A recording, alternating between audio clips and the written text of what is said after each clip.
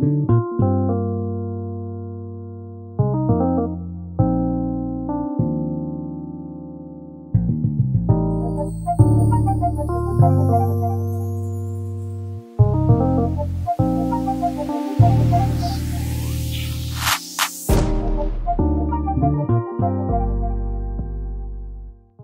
is up y'all? It's your girl Unique and I am back with another little mini tutorial for y'all. So as y'all see my girl that got me right period. Y'all go follow her at Samira Breon.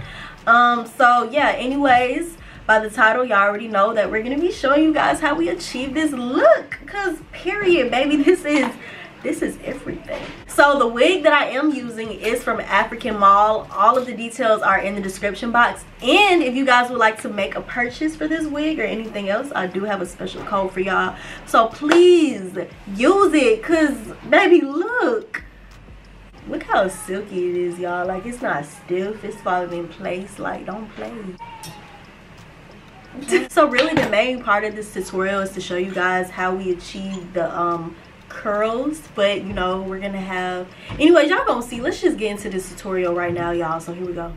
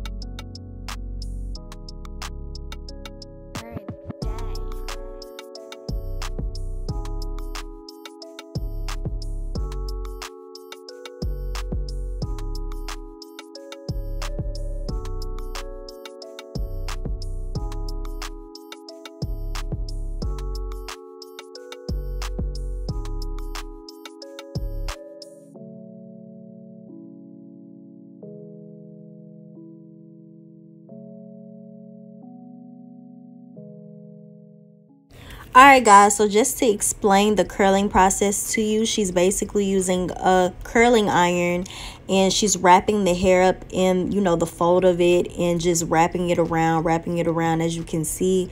Uh it's better like it's easier to look at it than me explaining it but yeah and then after she wraps it around a few times she's just gonna let it go and repeat the process. So yeah you basically see she's doing it all over again and you really want to give it time um, while it's in the curling iron and keep you know curling it around because that's what's really going to create that curl for you. So yes ma'am it's time to get those curls right and that's what she's doing. Boom look at that period yes